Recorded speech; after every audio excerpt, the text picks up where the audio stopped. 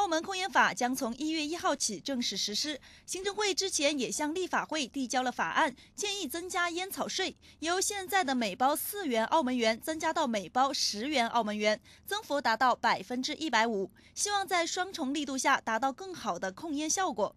但对于烟草税的增加，民众也各有看法。哦，我覺得係好嘅咯，起碼可以減少啲人食煙咯。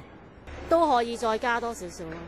你增加煙草税都唔可以防止到嗰啲人唔食煙噶，只不過你政府税收多咗啫嘛，啲人都照食噶。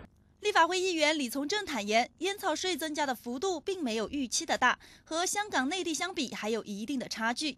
而澳门与珠海仅一关之隔，免税烟也是澳门推行控烟的严重阻碍。免税烟係咪應該取締，唔應該再存在呢？咁呢個係一個根治嘅方法。啊，唔應該再有免稅煙咁樣喺關口度啦，咁樣咩地方都唔應該，咩口岸都唔應該有嘅，咁就更加地去有個決心，就係話我唔會係對於香煙係實行免稅。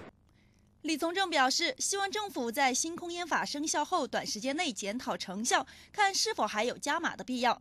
而煙草稅的具體增幅，預計立法會最快下週就會公布結果。澳亞衛視龔欣安、呂品、王紅軍澳門報道。